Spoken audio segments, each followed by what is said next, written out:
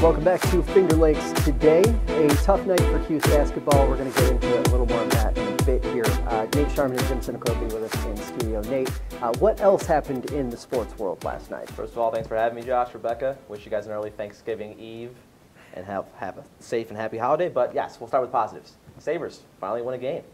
Know, after dropping eight in a row, uh, they win 7-2 last night in Montreal.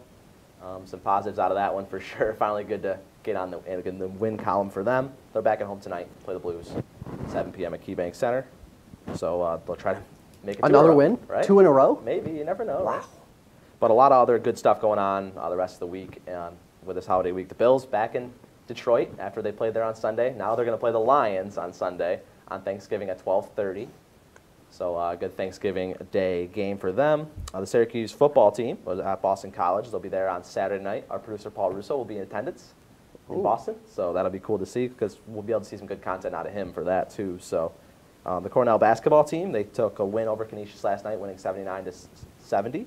Uh, they moved to four and one on the season, and Friday they'll be at Monmouth University to play a game there. And uh, don't forget about Hobart hockey. They're eight and zero this year. Ooh. It's best start since 2007, 2008, and they are ranked number one in the nation for D3 hockey. So uh, a lot of fun to go watch them play at the Cooler. I've had the pleasure to go play, go watch them a few times this year, and, and even play under Mark Taylor, the head coach there. Grew up with a couple of his sons, so even got to play under him in my hockey days back in Geneva. So really fun to go watch them play, and especially at the Cooler in Geneva. So they're home this weekend, Friday night, uh, against Castleton at 7 p.m. And on Saturday they play Skidmore at 4 p.m. So if you have nothing to do and you're looking to go watch some really good hockey, head on over to Geneva this weekend and, and see them play. Hobart basketball team's pretty good too. Yes, they are. Yep. And uh, they have three brothers.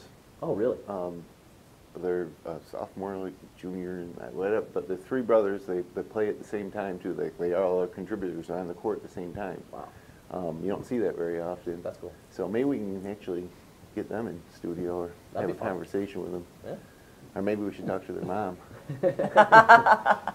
So here's my question for the both of you about the Bills. We're heading into Thanksgiving.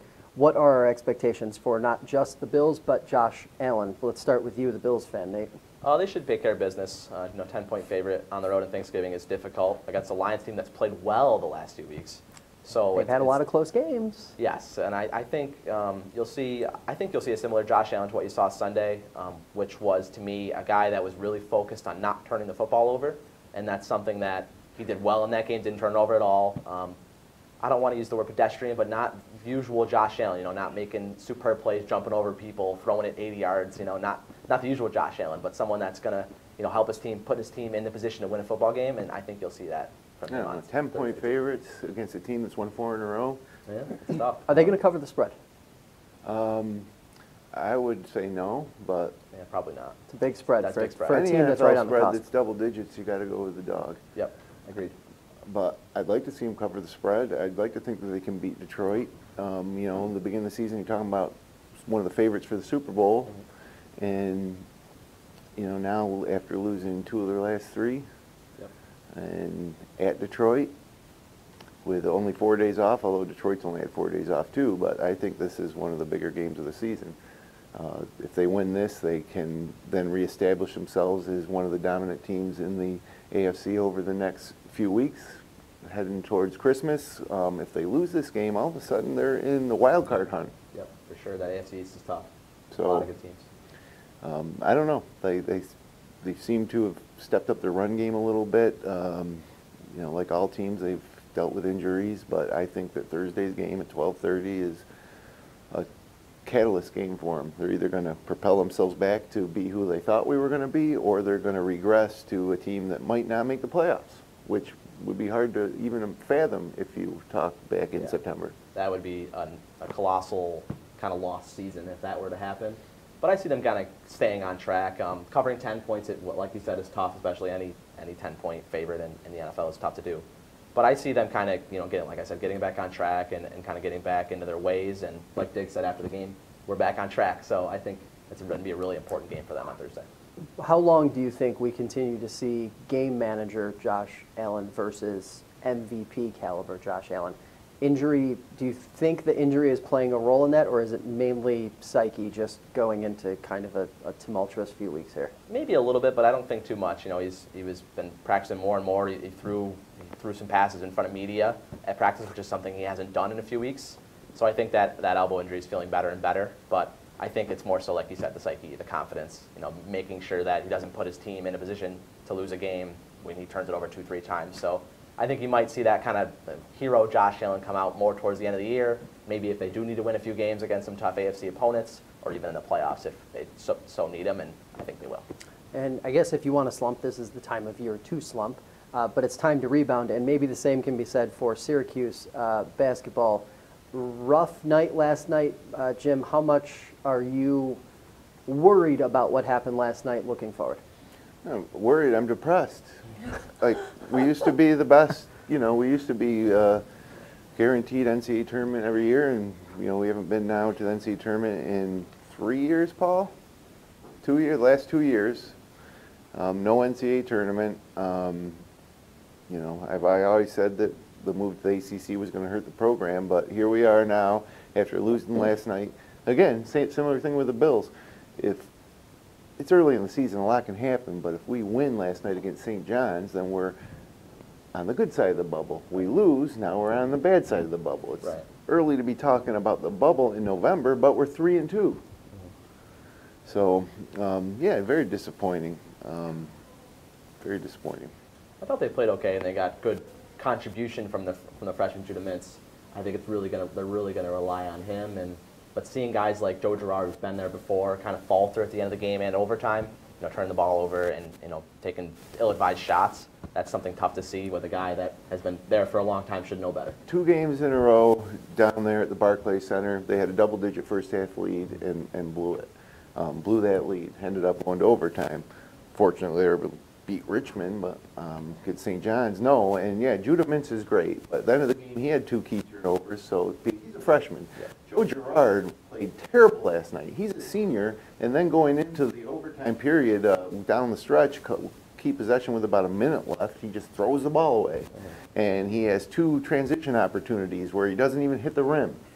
And, you know, again, he's, Joe Girard's a senior. Right.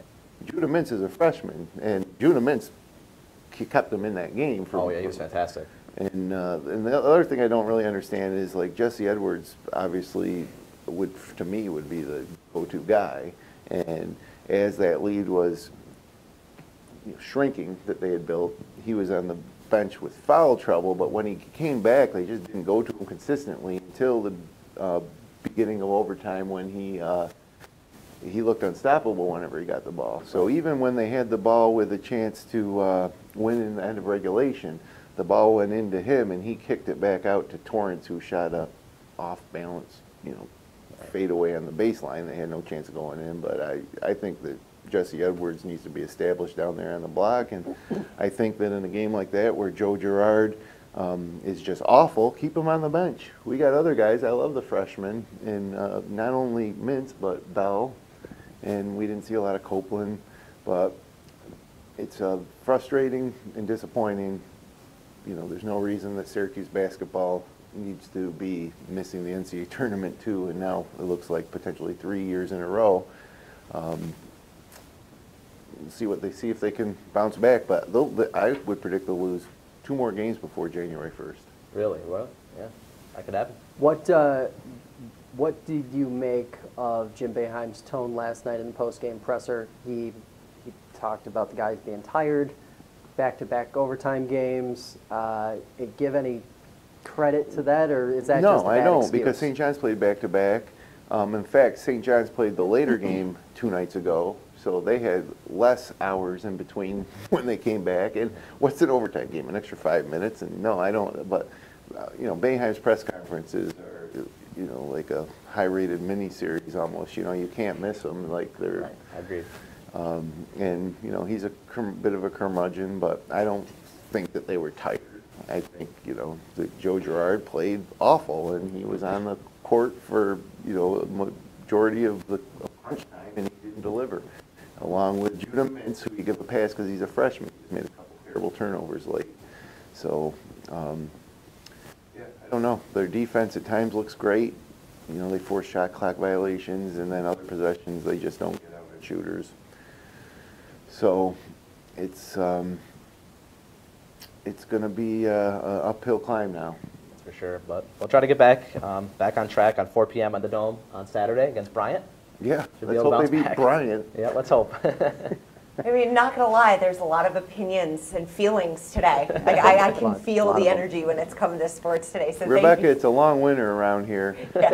and one thing that makes it go is when Syracuse basketball is good, but when, you know, you get- we get into February and nobody Yikes. in the national scene is even talking about Syracuse, is being on the bubble, then it's, uh, it's depressing. You just want spring to get here a little quicker. Coming off of, uh, do you- I I haven't asked you yet. I want to know: Is Syracuse football going to get another win this season, or is are Oh, we'll the beat Boston over? College on Saturday. Yeah, Oh, that's okay. Okay. Yeah. I like it. A All little right, bit of then. confidence there. All right, All right. guys, well, thank you all so much for your input. Uh, Happy Thanksgiving to you. Um, now here's a look at more of the stories that we're following for you here on Finger Lakes Today. Here are more of the stories we're following for you this morning on Finger Lakes Today. This news is a service of